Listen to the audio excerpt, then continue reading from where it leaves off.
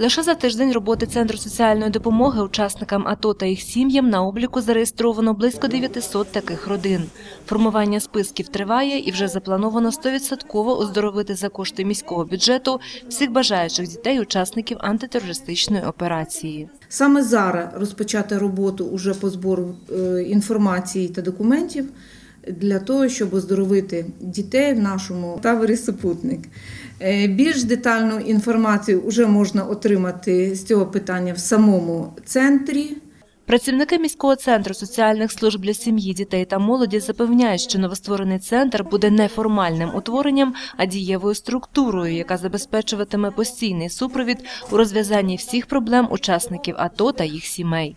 Саме тут людина може довідатися, де, куди вона може звернутися під супроводом наших спеціалістів для вирішення того чи іншого питання. Якщо людина має проблеми із здоров'ям і там серйозні проблеми із становлення інвалідності, е, щодо вирішення побутових проблем, отримання соціально-економічної допомоги, тобто грошової допомоги, матеріальної допомоги у вигляді, можливо, там одягу, речей необхідних е, для вжитку. Е, Якщо це стосується психологічної адаптації, якщо це стосується питань, е, можливо, навіть і працевлаштування. Настоятель Свято-Михайлівського кафедрального собору отець Богдан Бойко зазначив, що при церкві вже діє осередок духовної опіки для учасників АТО, а новостворений центр при міській раді організовуватиме розв'язання різноманітних проблемних питань щодо забезпечення першочергових потреб військових та їх сімей. ті всі події, які вони бачили на сході, дуже впливають на них морально і психологічно, духовно.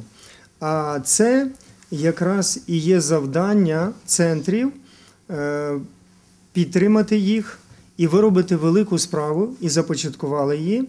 І Бог нехай допоможе нам До роботи спеціалізованого формування при Житомирському міському центрі соціальних служб для сім'ї, дітей та молоді будуть долучатися інші спеціалісти на договірних засадах та волонтери.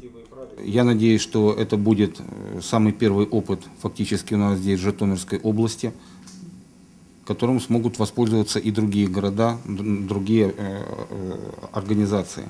Фінансування центру соціальної допомоги учасникам АТО та їх сім'ям здійснюватиметься за рахунок коштів міського бюджету, передбачених на утримання та заходи міського центру соціальних служб для сім'ї, дітей та молоді.